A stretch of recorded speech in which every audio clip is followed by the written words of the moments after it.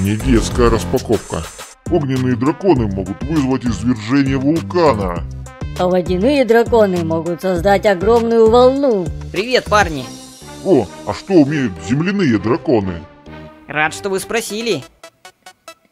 Don't stop. Don't stop. Don't, don't, don't,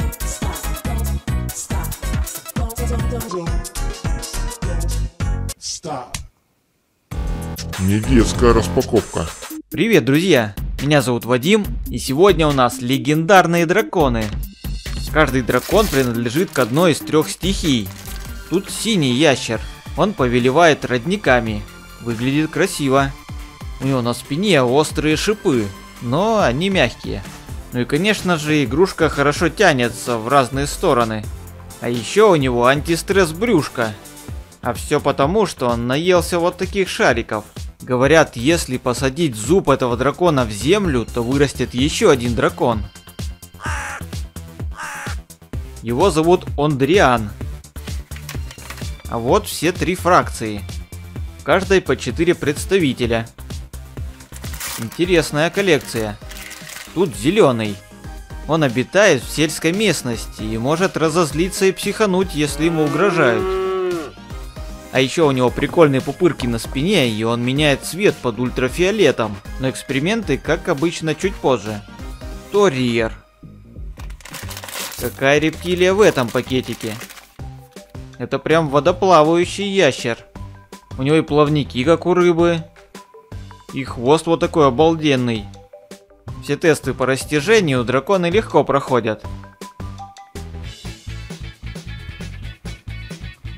Его зовут Эббит, что переводится как бездна.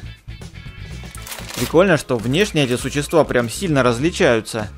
Этот, кстати, напоминает мне одного огненного покемона. Хотя, в принципе, это классический образ дракона. У него есть большие крылья, и он, конечно же, умеет летать.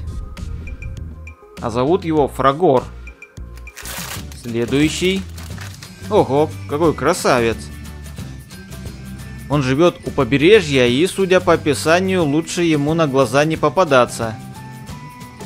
С ним мы тоже потом проведем интересный эксперимент. Луидор. У нас уже три водяных дракона, а этот, похоже, земляной. Он даже может разрушить горы, когда машет своими огромными крыльями. Его имя Рок, скала. Надеюсь, мы сегодня всех соберем. О, этот вообще забавный. Четырехногий.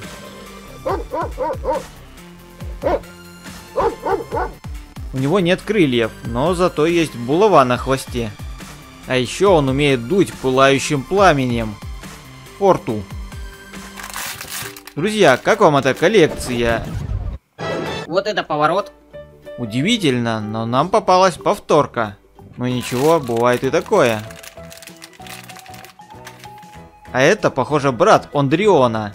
У него тоже есть клюв и острые шипы на спине.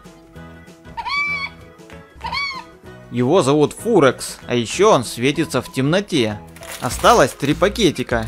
Такого не было. Говорят, что он достигает 60 метров в длину, то есть раз в 5 больше тиранозавра. Он создает огромные волны, когда пролетает над водой. А еще он добрый и миролюбивый. Зовут его Вотерер, что переводится как поилка. Осталось найти одного огненного и двух земляных зверюк.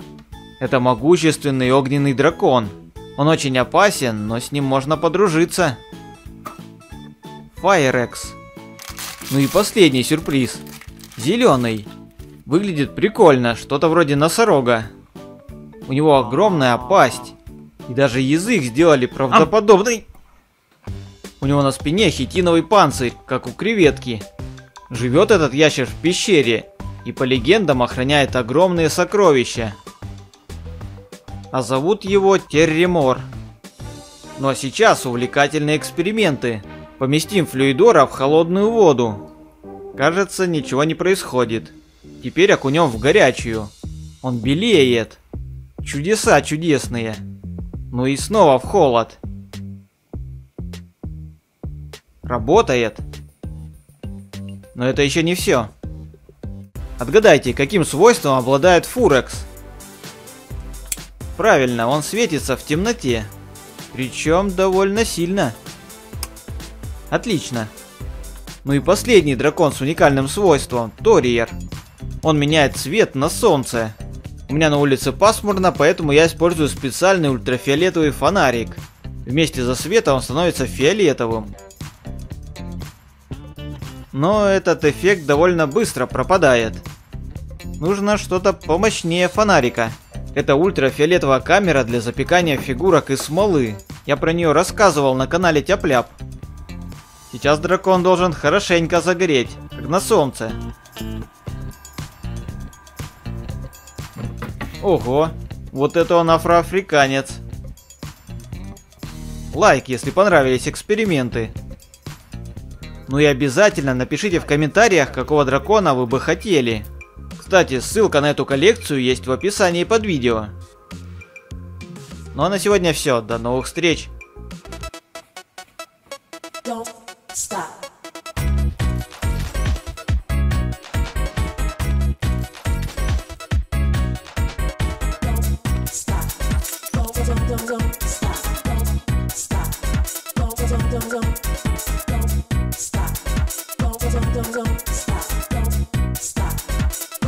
don't, don't.